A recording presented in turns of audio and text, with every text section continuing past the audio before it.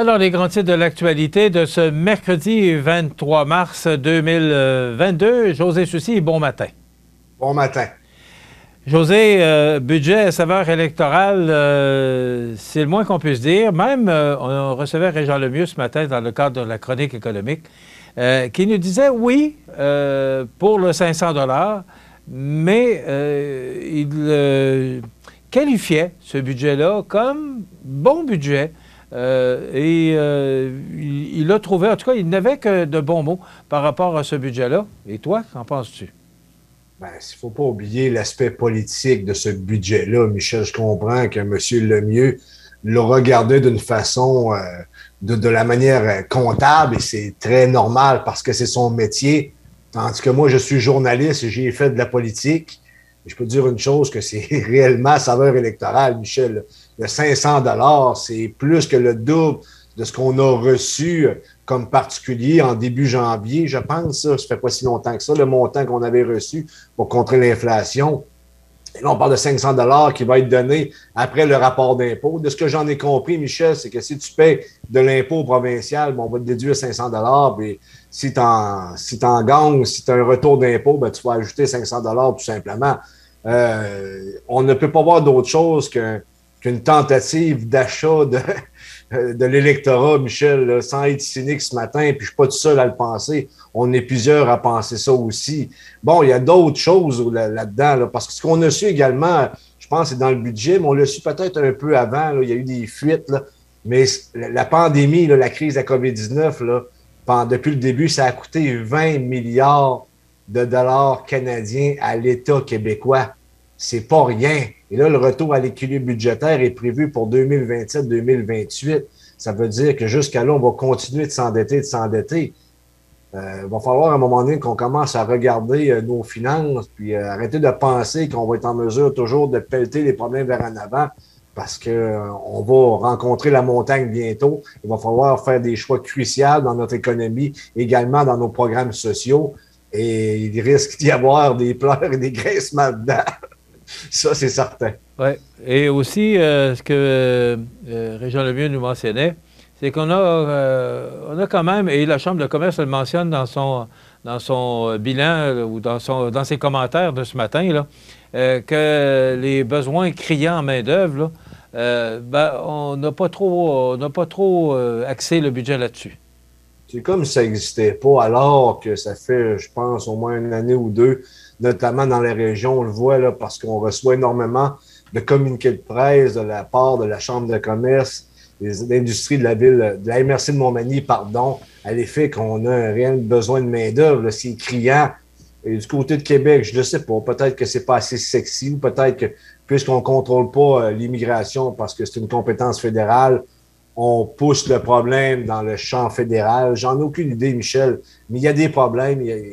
Il va falloir un jour euh, s'y affairer. Et c'est pas en ayant des chèques de 500 dollars à l'occasion qu'on va réussir à combler l'écart de, je te dirais, de la perte d'argent que les Québécois vivent actuellement. C'est-à-dire notre capacité d'achat a considérablement diminué. Michel, on ne peut plus continuer de la sorte. Parce que oui, 500 dollars sur le coup, ça fait plaisir de recevoir un chèque. Mais les années qui vont suivre, l'augmentation euh, du coût de la vie, là, va, frapper de plus en plus. Ça ne cesse d'augmenter. C'est comme si on mettait un plaster sur une blessure qui méritait, je te dirais, une opération en profondeur. En Alberta, euh, on a décidé d'enlever la taxe sur l'essence. Euh, est-ce que tu aurais vu ça d'un bon oeil qu'on fasse la même chose au Québec? Temporairement, oui, Michel. Il faut donner du souffle aux consommateurs. Et je le dis, je le redis, euh, jadis dans les dernières campagnes électorales, depuis au moins 50 ans, le sujet de l'heure, c'est l'économie.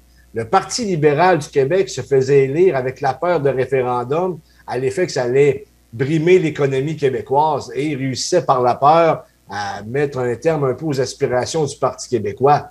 Maintenant, avec la coalition Avenir Québec, l'économie semble être euh, relégué au second rang alors que c'est primordial.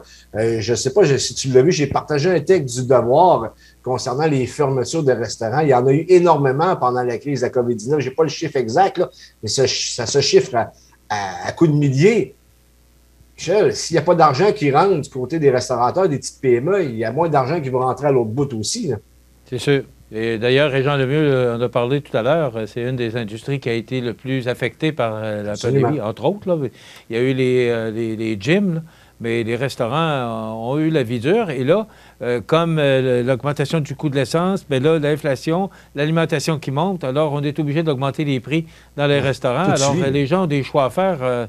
et c'est pas nécessairement toujours très bon pour nos restaurants, alors qu'on doit les aider. Michel, on gère différemment des autres provinces. Vois-tu, ailleurs au Canada, l'obligation du masque n'est plus en vigueur.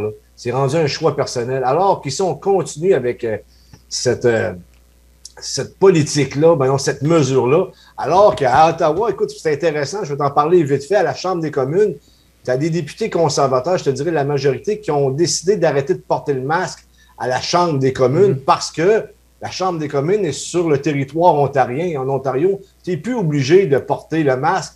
Par contre, puisque c'est dans, l'enceinte de la Chambre des communes, il y a encore des réglementations, mais ce n'est pas obligatoire, c'est fortement recommandé. Il y a un bris là, entre ce que les politiciens disent et ce qui se passe sur le terrain avec la volonté du peuple. J'ai ben, l'impression que nos dirigeants ne sont pas connectés avec la volonté ou ben non, les désirs ou les problématiques que les, citoyens vivent à, chaque jour, Michel. Justement, là-dessus, euh, José, forte hausse des hospitalisations. Selon des estimations, on recensait plus de 20 000 cas de coronavirus par jour au Québec vers la mi-mars. Euh, s'il est tôt pour parler d'une sixième vague de COVID-19, malgré une hausse marquée des hospitalisations au Québec dans les derniers jours, des experts s'inquiètent de l'abandon imminent du port du masque. C'est sous la plume de Laurent Lavoie du Journal de Québec ce matin. Alors, euh, pas sûr qu'on va nous enlever le masque prochainement, José.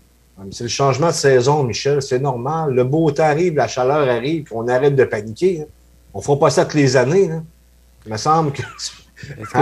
Est-ce que, euh, écoute, euh, est-ce qu'on s'en va vers la sixième, septième, huitième, dixième, mais est-ce qu'on va se rendre à la vingtième vague?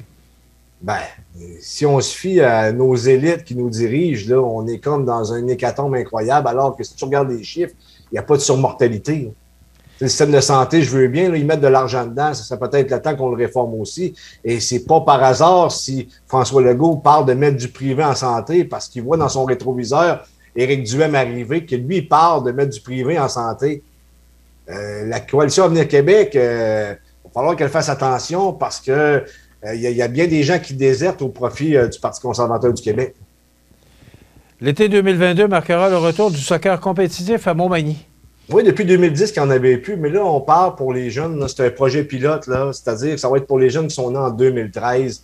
On va commencer cette année, j'ai plus ou moins de détails. D'ailleurs, on devrait l'avoir à l'émission. Je ne sais pas si tu as, reçu mon communiqué pour l'inviter parce que c'est intéressant. Euh, c'est en collaboration avec le club euh, de, de Lévis. Puis ça va être encadré par Soccer Québec. Ça reste à voir, mais je pense que c'est de bonne augure. Parce que, tu sais, Michel, là, notre sport national, c'est le hockey. Mais jouer au hockey, tu le sais, ça fait longtemps que ton garçon, il joue plus parce qu'il est rendu plus vieux. Mais ça coûte extrêmement cher jouer au hockey. Tandis que jouer au soccer, là, c'est un ballon et une paire d'espadrilles spécialisées avec un, petit, euh, petit uniforme, puis tu es en voiture pour l'été. Hein. On va recevoir justement euh, Guillaume Larochelle la semaine prochaine, mercredi prochain, je crois. Euh, et écoute, j'ai jasé avec hier, il est enthousiaste à remettre le soccer compétitif à Montmagny. J'ai un bout de temps avec. Donc, ce sera une entrevue très intéressante. Et il faut préconiser aussi, il faut encourager ces gens-là à, amener des activités à Montmagny. Oui, puis l'activité physique, c'est très important, Michel. Merci, José. On se retrouve euh, demain. Euh, d'ailleurs, demain, on aura la chronique culinaire avec Benoît Tardy. Il y aura les offres d'emploi, les avis de décès, bien sûr, et l'entrevue du jour. Justement, on reçoit Monseigneur Pierre Goudreau qui vient nous présenter son nouveau livre qui vient tout juste de sortir. Il a été, euh, il, est il, se retrouve maintenant dans les librairies depuis lundi. Donc, c'est notre invité demain. Alors, voilà pour notre émission. Je vous souhaite de passer une excellente journée. À demain.